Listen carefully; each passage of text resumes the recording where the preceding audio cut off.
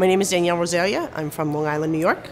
The headquarters is fantastic. It's homey and businesslike at the same time. It's got a very relaxed atmosphere, but you can tell things are still doing in the regiment that they need to be done. So far, I've learned that little things make a big difference. The no brainer idea is something that we want to instill. It sounds like a really great idea. It's getting those people in the door, and once they're in the door, of how to get them to join your group, join your company, join join your organization. Clay's presentation style is very comfortable. He is in there with you, talking to you, not at you. And he is he jokes around a little bit. He shows you stuff, so there's visual versus him speaking. He's not just sitting there lecturing to you. There's a lot of mixed visual interaction.